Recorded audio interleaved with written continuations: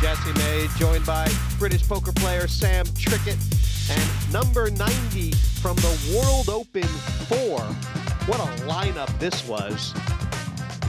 Liam Flood, Sam, Surinder Sunar, the Devilfish. It's almost like old timers day. Yeah, I'm friends with all these guys too, like the old school. I love these guys, especially the fish. What a character. Ian Woodley Check. there, great old Check. UK player. Uh, he put my first bad beat on me in English Check. poker, Woodley. I remember it well. Needled me afterwards as well. This hand, uh, I think the Devilfish had raised pre-flop. Surinder had just flatted with the ace-king. They've all checked the flop, and then everything gets going on the turn. But uh, can you see the cat girl there uh, on the left side of the screen? Yeah, I, I never actually played with her. dangerous now. No more free ones, guys. I've met her before. Got to buy them now. Well, the little bit before my amazing thing about this heat is she showed up completely only covered in black body paint.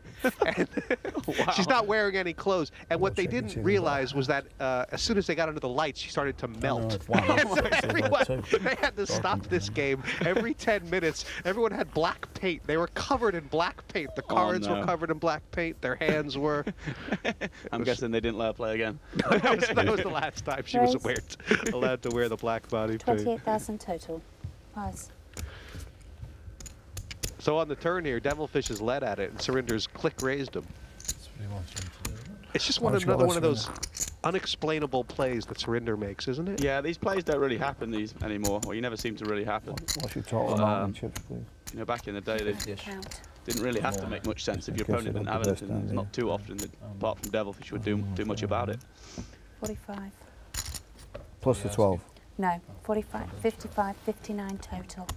Devilfish has obviously spotted some weakness. It's not believing him. I'll put you on. We raised.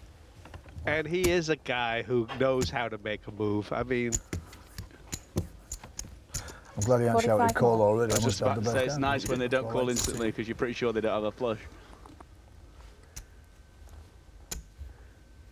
sometimes I think people don't realize how far ahead the Devilfish was of the curve as far as being aggressive years ago. You know, I mean, he really put pressure on people. Yeah, I think he was the best by a long way, especially in England, wasn't he? I don't know how they was playing overseas, but uh, Wow. definitely played that hand well.